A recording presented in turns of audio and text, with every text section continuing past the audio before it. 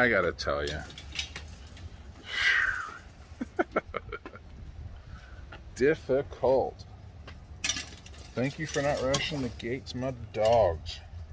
They usually they do. So, uh, Miss Abby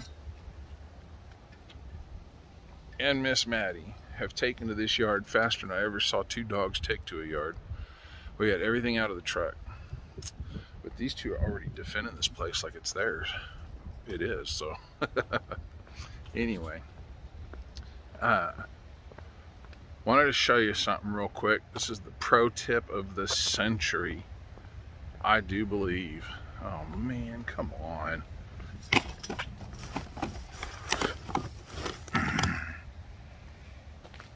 It's windy here. What do you expect out of some place called Twister City? anyway, uh, I wanted to show you this real quick. So, uh,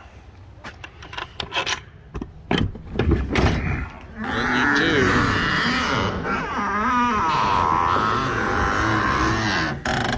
when you do go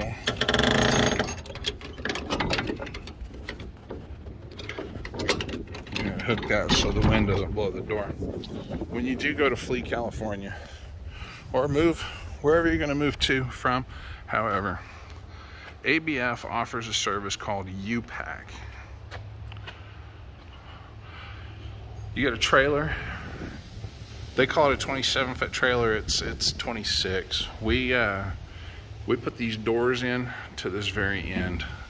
I'll show you some pictures of that in here. Uh, you get the trailer, you get the whole thing top to bottom. And here's here's the deal with this.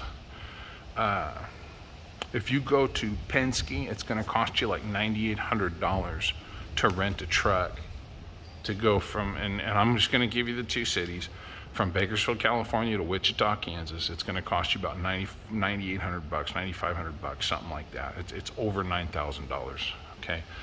That's just to rent the truck. That's not the insurance so that if it catches on fire, I don't have to pay anything. That's not the fuel. That's not your time driving it. That's straight up. That is just the truck rental. U-Haul was a little over 10,000. It was almost, okay. So, um, you call, uh, you go through the website for this. Gotta love that wind. You go through the website for this and, uh, it's it's called U-Pack, U-Pack, and uh, ABF runs it. They bring you one of these trailers. They drop it at your house. You've got three days. My suggestion is schedule it for uh, a Thursday. The reason is uh, this company does not operate on the weekends, so they give you three days to load it. There's the information right there. They give you three days to load it. That's three business days. So that's not that's not three days, three days. That's three business days. So if it shows up on Thursday, that day doesn't count. Okay. Friday counts. Saturday, Sunday don't count. Monday, Tuesday count. You've got five days. If it shows up early in the morning, on the day the first day when it gets there, it doesn't count. So uh, this truck out the door said and done cost me a little under forty three hundred dollars. $4,300. And that is because I filled it to the absolute end. Uh, what they do is they will quote you that for the trailer. Okay. You fill it up halfway. Say, uh, say to the 14 foot. The contract will tell you they don't charge you that full $4,000. They charge you, I think it's like $87 uh, per foot that you don't use. What you do is this door, and I think I've got pictures, I'll roll them in here. This door goes in the thing, and the way the braces work on the back, the way these uh, pipes work, it locks the thing in.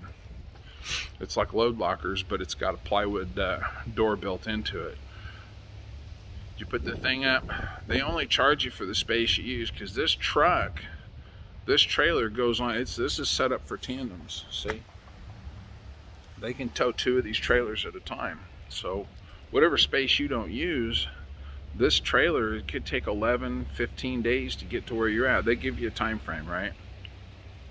Uh, what they do is they load it up with freight. It goes into their regular freight circulation.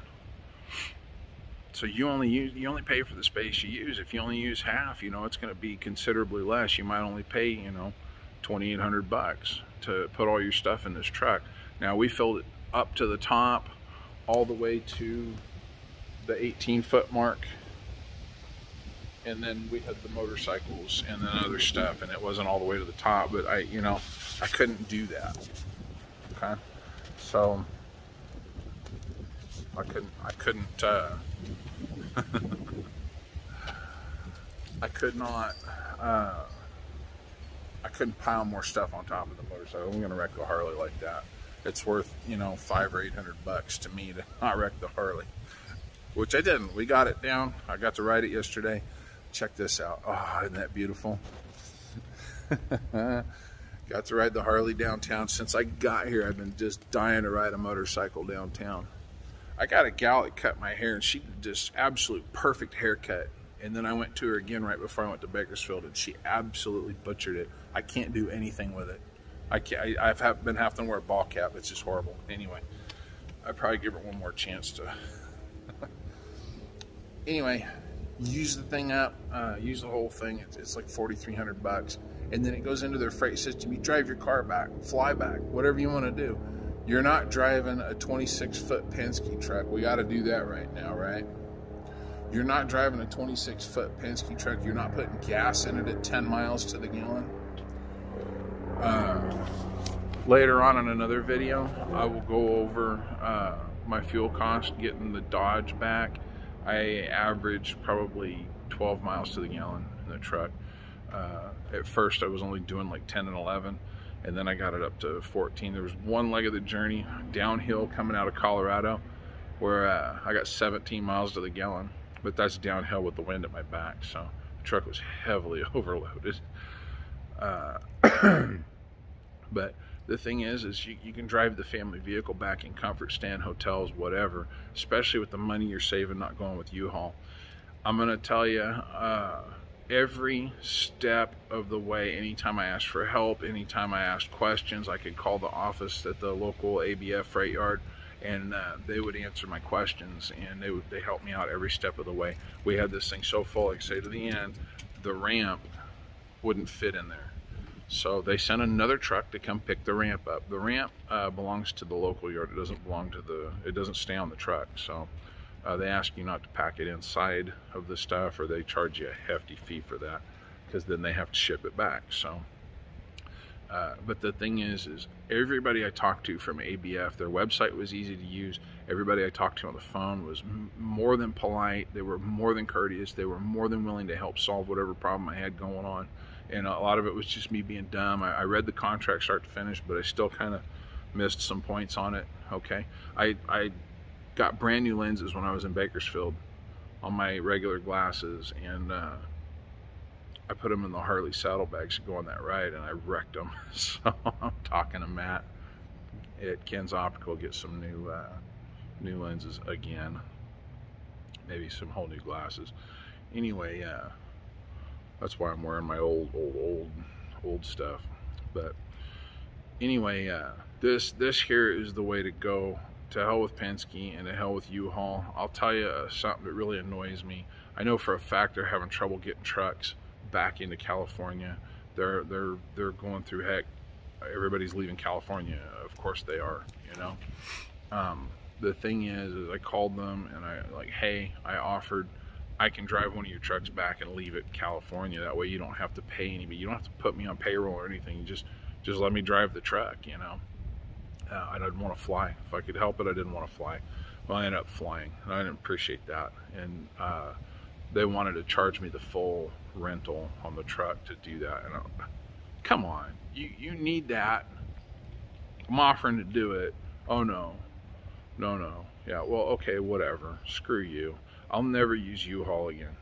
You know, unless it's just around town type of thing. If it's just right here around town, I need it uh, I'll go around a trailer or something, haul it behind the Dodge. Uh, but if you're making a big move, guys, uh, heavily, heavily suggest that you do not use U-Haul or Penske. Don't drive that truck yourself. You don't have to.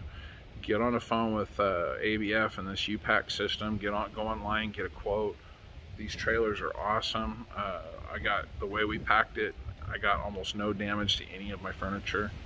Um, there was some bouncing and shaking going on. These trucks don't have the best suspension in the world, okay? So don't expect it's going to be perfect. Uh, we put a blanket in next to the back wheel on the Harley, and when it got here, the blanket was underneath the wheel, the back wheel on the Harley. The, these things bounce around a bit, so you've got to pack them right. That's up to you. That's that's your responsibility. Um, the insurance, you, you look at the insurance, read it, because if you put something expensive in here that's not going to be covered, if you put your vehicle in here like I did with the Harley, they talk about uh, getting rid of the flammable fluids out of it, all that stuff. It's really important you actually do that and understand that your vehicle policy probably won't cover the motorcycle, you know, and uh, their thing probably won't cover it either. Uh, we put some stuff in here, probably shouldn't have put in here. It wouldn't have been covered, but I didn't have any other way to do it safely. I didn't think, and it, it worked out. It worked out for me. So, um, whatever you're doing, if you're doing a big move, especially if you're getting out of California, I'm telling you, this right here is the way to go. This is this is something else. Eh, they were great. The price is half. It's less than half. It's less than half. Uh, it's less than half of what U-Haul's was. So, anyway, that's it. I'm gonna leave it at that. I'm gonna be making a video kind of covering our trip out here, getting uh, getting away from California. I'm gonna try to make it all one video if I can. There's some really great footage across in the country. I absolutely love Colorado. Absolutely love Kansas. Kansas is beautiful. Oh, Kansas is flat. No, it's not. It really isn't. Uh, you got stuff like this everywhere. That wind. so um, it just it was a fantastic drive. It was a good trip. Uh, we actually kind of had a little bit of fun doing it. The dogs rode with me. The kids rode with mom. I think she got the short end of the stick. but uh, yeah, me and the boys just got this offloaded. If uh, you're gonna do that, I highly recommend this. I highly recommend getting out of California. You guys have a good one. I'll catch you on the next one.